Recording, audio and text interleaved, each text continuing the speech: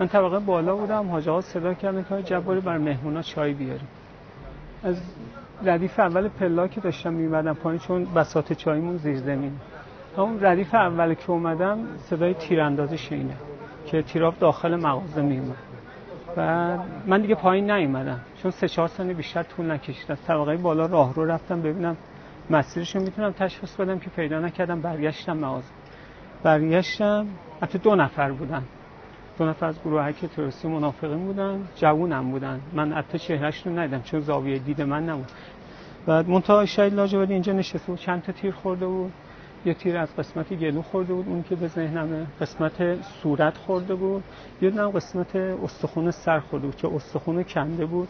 تا پایینم پرچ شد. بعدا طبقه زیزه این پیش اسدالله لاجوردی یکی از قسی القلب ترین انسانها در تاریخ معاصر ایران بود. او که دختران نوجوان را پیش از مشخص شدن نامشان به جوخه تیرباران سپرد و هزاران مجاهد و مبارزه آزادی این میهن را شکنجه و اعدام کرد.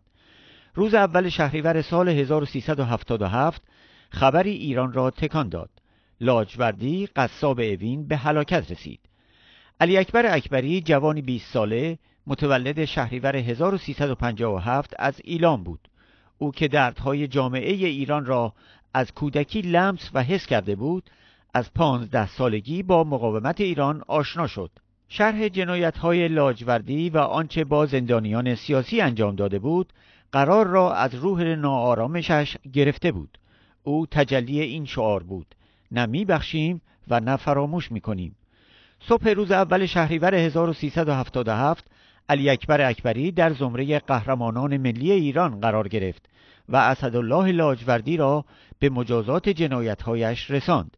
علی اکبر قهرمان در جریان درگیری با محافظین لاجوردی زخمی و دستگیر شد.